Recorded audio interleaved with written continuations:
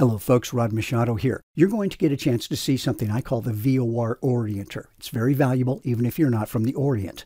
What this does is it helps you answer abstract VOR test questions.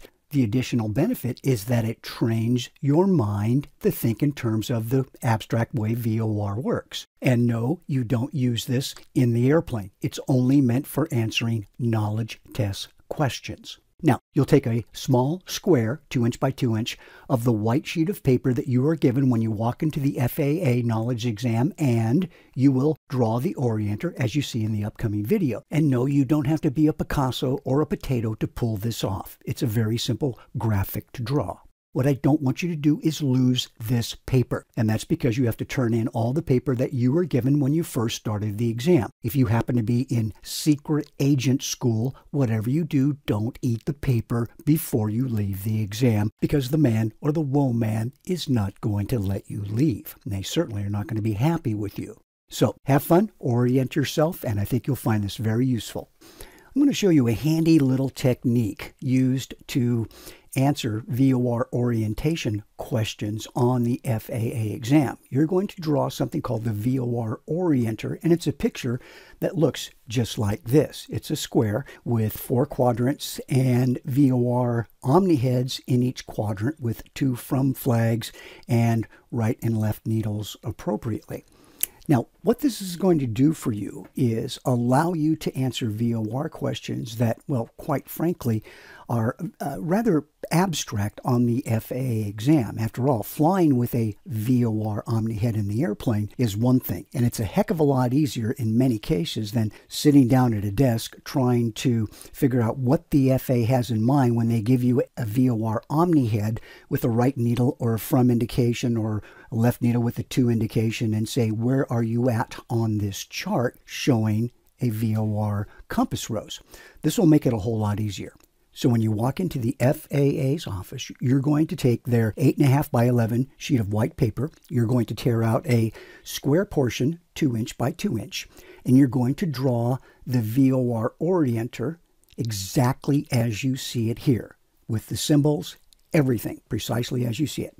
To use the VOR orienter, you're going to place it directly on the center of the VOR in question, and then you're going to rotate it to the direction shown in the OBS, the Omni Bearing Selector, in this case 090 degrees. So we rotate our VOR orienter to point to 090 degrees. Now, if the OBS said 330 degrees, we would rotate our VOR orienter to 330 degrees, and so on. And here's where the magic happens.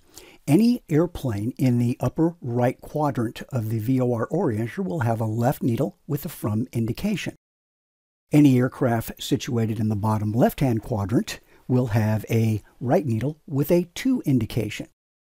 Any airplane in the bottom right-hand corner of the VOR orienter will have a left needle with a 2 indication, and so on. And if the Omni bearing selector is rotated to 240 degrees, then I would rotate the VOR orienter to 240 degrees, and anything in the pink quadrant, as shown on the VOR orienter, upper left-hand quadrant, reference to where the arrow points will be identified by a from indication with a right needle. And if I'm located anywhere along this area that's perpendicular to the direction the OBS points, I'll have the appropriate needle indication as shown in the VOR orienter, but I either won't have a to from flag showing or the to from flag may say off. In essence, I'm in the zone of ambiguity. Okay, let's put our VOR orienter to work. Here's your first question. Your VOR is tuned to Jamestown VOR. There it is. And your airplane is located over Bryant Airport. Which VOR indication is correct? There's Bryant Airport, and here are three VOR Omni heads for selection. Now, VOR Omni head number one has its OBS pointed to 210 degrees. It has a left needle with a 2 indication. So we're going to take our VOR orienter and we're going to put it directly over Jamestown VOR, which is in the middle of Jamestown Airport. We're going to rotate the VOR orienter to point in the direction of the OBS setting, which is 210 degrees.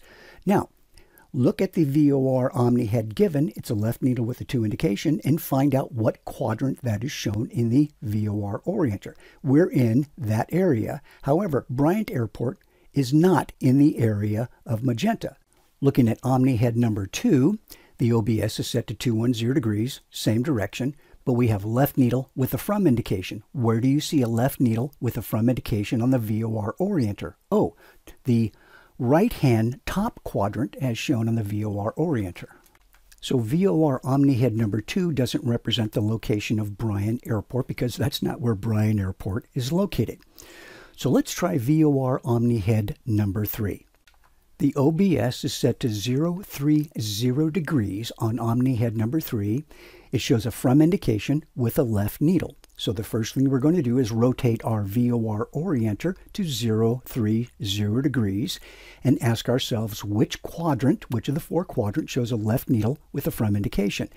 Therefore, if we are located over Bryan Airport, our VOR would show a left needle with a from indication. Consequently, VOR selection number 3 accurately represents our location over Bryan Airport. Okay, let's try another example. Here's your question.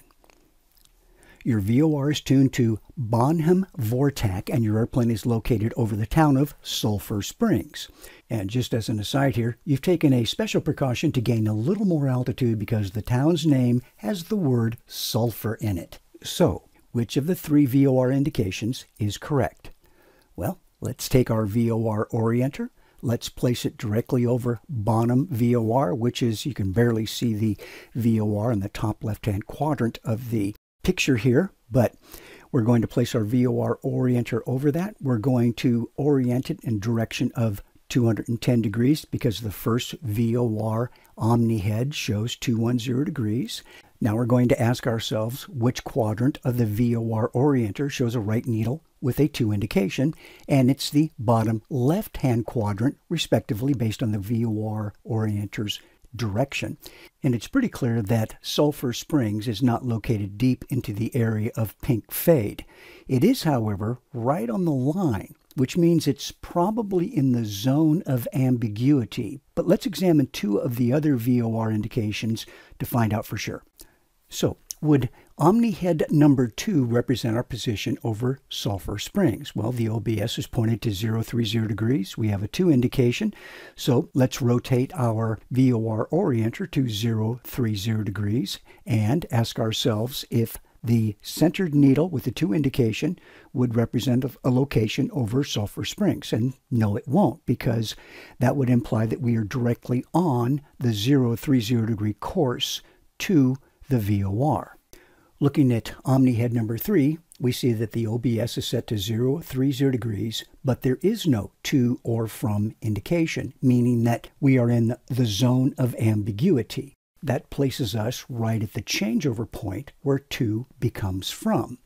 And it looks like Sulphur Springs is located right along that point, actually close enough. And therefore we can still have a left needle, but no to or from indication instead an indication of ambiguity. So VOR Omni-Head number 3 accurately represents our location over Sulphur Springs. So practice drawing the VOR orienter from memory and use it when you answer FAA knowledge questions.